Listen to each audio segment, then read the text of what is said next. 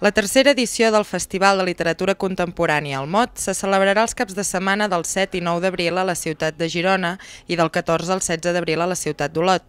Un festival de qualitat i en projecció nacional organitzat pels consistoris de les dues ciutats. La temàtica de l'edició d'enguany porta per títol Vides escrites, escriure vides. Volem explorar una mica la relació entre la ficció i quines parts d'autobiografia hi posa l'escriptor, però també volem veure com el lector eh, s'hi relaciona amb aquesta vida, com aquest lector eh, s'hi sent reflectit, si pensa que ell reaccionaria igual, reaccionaria diferent, però des d'una construcció de la ficció i des d'una construcció literària. No estem fent una biografia pura i dura. Aquest serà l'eix del mot d'aquest any. A falta de gairebé sis mesos ja s'han revelat els noms d'autors confirmats en l'edició d'enguany. Els internacionals Amelino Tom, biografia de la fam, i David Fuenquinos, Lennon.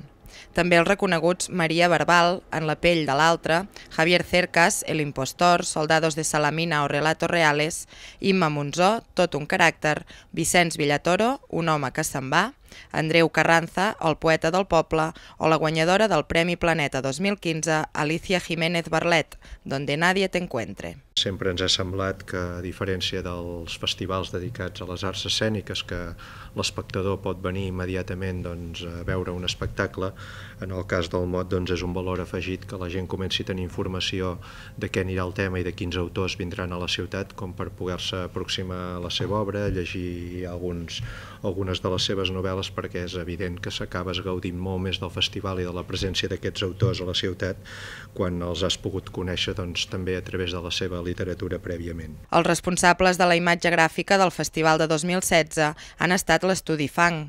Els dissenyadors han proposat una imatge que gira entorn a la mà, considerada per una banda com a registre gràfic de la vida i per l'altra com a eina generadora de literatura sobre la vida pròpia i la dels altres.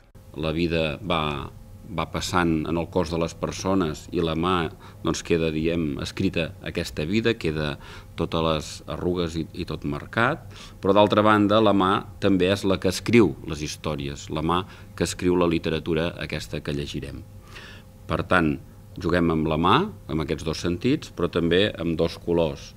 El color negre sobre blanc seria la literatura en si, i el color més vermellós seria doncs, la sang que corre per les venes d'aquests personatges. Per segon any consecutiu, el mot estarà comissariat per la doctora en Filologia i professora de Literatura Contemporània Margarida Casacoberta. Com en les passades edicions, tindrà un format de diàleg entre diversos escriptors que han treballat aquesta temàtica en les seves obres.